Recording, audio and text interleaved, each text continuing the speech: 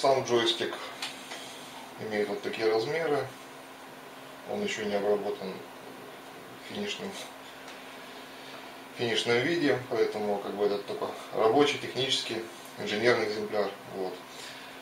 Э, изначально весит он 340 э, грамм, что составляет ровно такой же вес, как у половинки рукояти от кугуара. Вот. Достаточно плотный, твердый и жесткий. Корпус, например, не можно весом наваливаться, не продавится. Вот. Изначально делал джойстик из расчета на симметричность, то есть, чтобы можно было использовать под правую руку, так и под левую, скажем, если какие-то многомоторные конфигурации, мог бы управлять как что Вот можно посмотреть, что у него находится внутри, как он устроен. То есть джойстик сам выступает клиентской частью, контроллер у него находится отдельно, будет находиться в рудах. Здесь у него находится диодная матрица, э, плата расширения, подключение цифровых осей, цифровой датчик крена, цифровой датчик тангажа. Здесь датчик закреплен неподвижно, магнит вращается возле датчика. Здесь наоборот, магнит укреплен неподвижно и вращается датчик вокруг него. Э, сам консольный рычаг собран тоже по композитной схеме из э, четырех слоев фанеры, слоя бальса, стеклоткань и вклеенный, э, вклеенный, вклеенный через кевларовый шнур болт на 8 мм. Здесь находится два подшипника 8 на 22 мм. Простенок между подшипниками э, заполнен экструдированным пенополистиролом. То есть э, это еще плюс жесткости конструкции. Ну и сам, конечно, отсек разделен на ребра жесткости. Многократно проклеенные стеклотканью, собранные на шипах.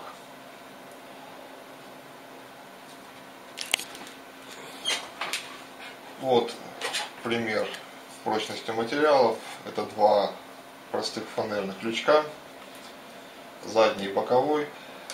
Сам лючок выполнен из листа, листа 1-миллиметровой фанеры пятислойной, но с каждой стороны по несколько слоев стеклоткани 45 плотностью 45 где-то 45 единиц на метр вот, то есть она упругая но очень-очень прочный, то есть вот руками просто так да, даже простую деформацию не вызвать.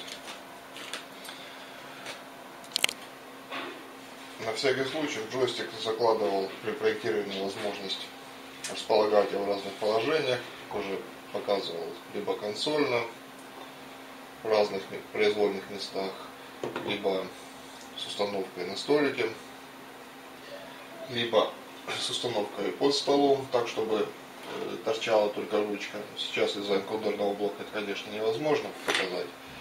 Либо с креплением на подлокотник, э, крутилки тоже мешают. С разворотом ручки на 180 градусов, то есть получилось бы достаточно удобно. Но уже это установил, и эксперименты эти пока прекращаются. Можно, конечно, даже так, ну вот совсем уж не традиционно и неудобно. Может быть. Итак, немного по эргономике. Сам джойстик расположен у меня прямо над ногой. То есть, если бы я руку положил прямо на бедро, находится примерно в этом положении. То есть руку могу свободно класть, нагружая своим весом. Это для него нормально. Вот. Ну и, соответственно, комфортность достаточно высокая. Легко можно доставать до всех необходимых кнопок курок складной. Э, кнопка верхняя. Здесь еще не сделаны две кнопки. Два энкодера. Можно как левая крутить, так и правая. Полный ход ручки в нейтральном положении, рука кладется на ручку, достаточно устойчиво и удобно. Полный ход от себя, полный ход на себя, крен влево, вправо до упора и крайнее положение по углам.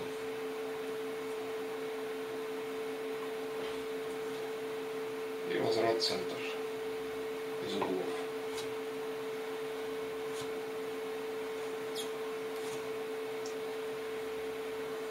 Также курок откидной. Тут ничего нового, ничего интересного. Кнопки и наподобный блок.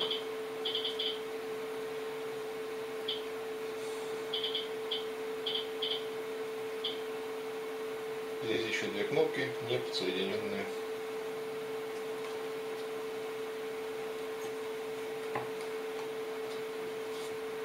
Общее разрешение по тангажу длина хода здесь в этой точке 76 миллиметров от края до края. Цифровое разрешение 5400 с мелочью отчетов. По крену 90 градусов под ручки. 4300 отчетов.